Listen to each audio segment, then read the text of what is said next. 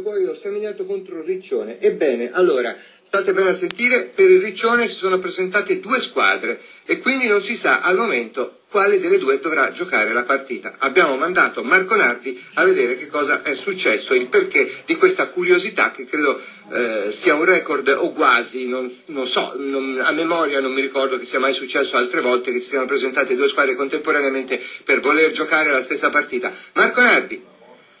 Sì, buon pomeriggio dalle Poraia di Ponte Egura. Hai detto bene Maurizio, qui non si sta giocando, tra l'altro lo stadio è tuttora ermeticamente chiuso, i commissari di campo non danno l'accesso né al pubblico né a noi giornalisti né eh, praticamente a nessuno. Si dovrà decidere su questa strana diatriba. Si sono presentate due squadre del Riccione per giocare eh, la partita contro il Tuttopoio, prima del campionato giovanile del campionato nazionale dilettanti.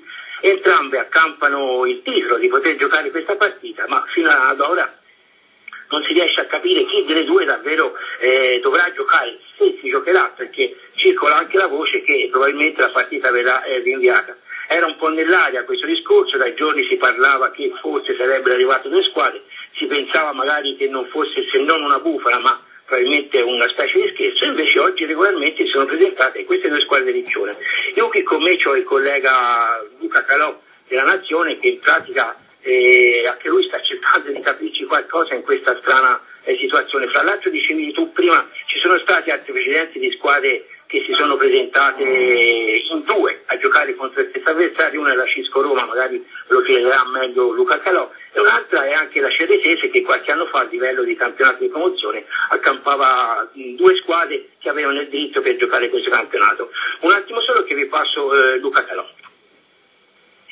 Sì, buon pomeriggio a tutti. Niente, come diceva Marco, abbiamo trovato una situazione paradossale ma forse anche preventivabile, nel senso che almeno i colleghi del Carlino, della redazione di Rimini ci avevano un po' paventato questa situazione, anche se anche lì non si pensava che si arrivasse a questi punti, anche perché entrando nel dettaglio la squadra che in questo momento è fuori, e che diciamo è detenuta dalla nuova proprietà in teoria è quella che ha già giocato due partite ufficiali in Coppa Italia di Serie D contro il Bellaria e contro la, la Dispetro. Quella che è dentro invece che è arrivata circa mezz'ora prima a Ponta Evola intorno a luna subito dopo pranzo eh, non ha praticamente disputato partite ufficiali in questa stagione ed è quella diciamo, riconducibile alla vecchia proprietà, alla vecchia presidenza del Riccione che imputa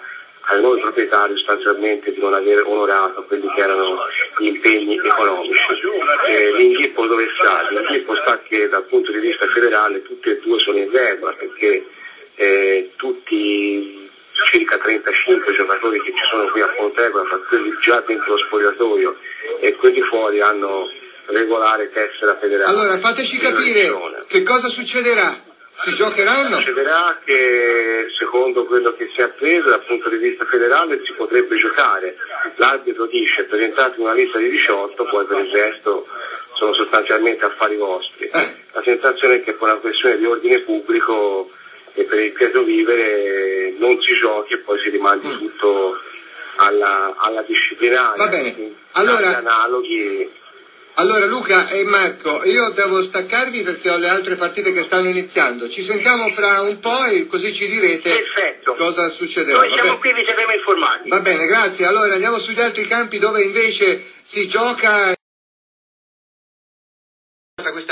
questa anomalia, lo diciamo a beneficio di chi si mettesse solo adesso all'ascolto, che praticamente tutto quello doveva giocare contro il Riccione, fino a qui tutto regolare, il problema è che da Riccione sono arrivate due squadre e tutte e due volevano giocare. Allora sentiamo Marco Nardi che abbiamo inviato sul posto.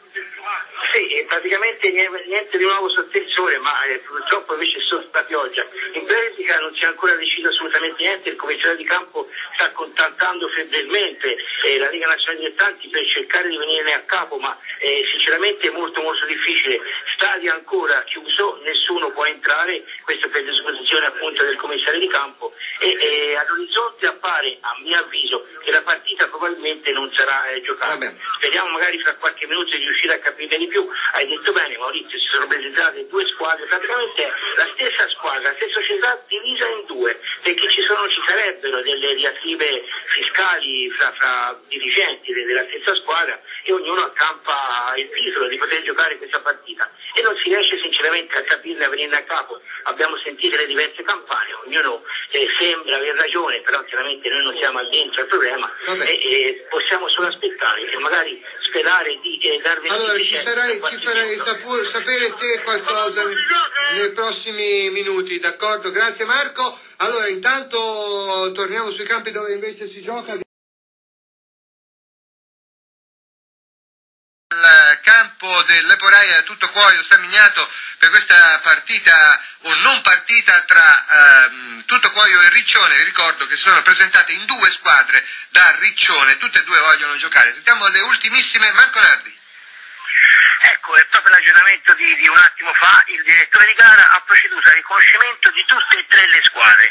Adesso si dovrà capire chi fra le due squadre del Riccione potrà giocare e se si troveranno d'accordo fra di loro chi scenderà in campo. Io credo che la partita non si giocherà, ripeto. Comunque stranamente l'arbitro ha fatto entrare entrambe le squadre, una eh, del Riccione, una era già all'interno degli spogliatoi, l'altra era ancora sul Pulma, sono stati fatti scendere i giocatori, scortati per la dai carabinieri, sono entrati dentro allo spogliatoio, l'arbitro sta procedendo al loro riconoscimento. Vedremo poi anche attraverso il commissario di campo che cosa succederà. Mi sembra una situazione abbastanza ridicola comunque.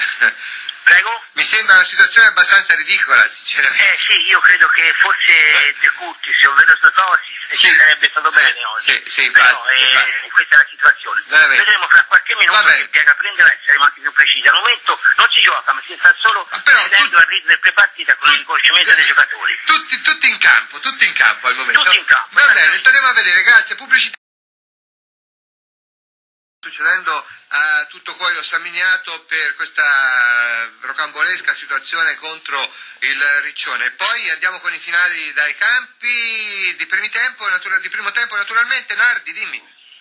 Allora, intanto è ufficiale che la partita non sarà giocata, ricordo si deve giocare la prima giornata del campionato girone D del campionato nazionale dilettanti, tutto Cuoio eh, Riccione, chiedo scusa adesso avevo un lapsus, e non si giocherà perché in pratica delle Riccione sono presentate due squadre, c'è stato il riconoscimento come dal regolamento da parte dell'arbitro di entrambe le squadre, poi siccome non, nessuna, tutte e due avrebbero voluto giocare, nessuna ha dato il permesso all'altra per giocare, quindi l'arbitro ha deciso di non giocare. E abbiamo qui Massimiliano Alvini, velocemente con lui un parere su questa strana situazione Massimiliano. È una situazione assurda, mai trovo, non penso che sia mai successo. Ci ritroviamo in questa situazione e in questo momento siamo anche non si sa come va, siamo parte lesa perché noi siamo qui pronti per giocare, c'è due squadre e, nessuno, e non si sono messi d'accordo per giocare. Io, una cosa del genere è assurda, ci viene da ridere però fa rabbia anche. Eh sì, chiaramente insomma, è una scena un po', ripeto, come poteva essere film di Totò di qualche anno addietro. Vabbè, vedremo magari in settimana quelle che saranno le decisioni del giudice sportivo, ripeto, tutto cuoio Riccione non si gioca, si giocherà invece una partita in famiglia della squadra del tutto cuoio, tanto per mantenere eh, caldo il ritmo. Ma pensavo del, giocassero tra di loro le due squadre del Riccione un amichevole, tanto per eh, vedere. Poteva essere un'idea di far giocare le due squadre del Riccione un amichevole tra di loro, ma comunque, che sia stato un problema soprattutto di ordine pubblico. Credo che siano tre punti per il tutto cuoio assolutamente questo. Ma questo non si può ancora dire perché Vabbè. la disciplinare vedremo. E chiaramente come diceva Massimiliano Albina è giusto, il tutto cuoio è parte lesa, ha mancato in casa, insomma ci sono diverse situazioni da, da sviscerare. Va bene, grazie Marco, siamo per, chiusu, per chiudere i primi tempi, quindi ti tolgo la linea, ma tanto lì non c'è altro da dire da quelle parti, avanti che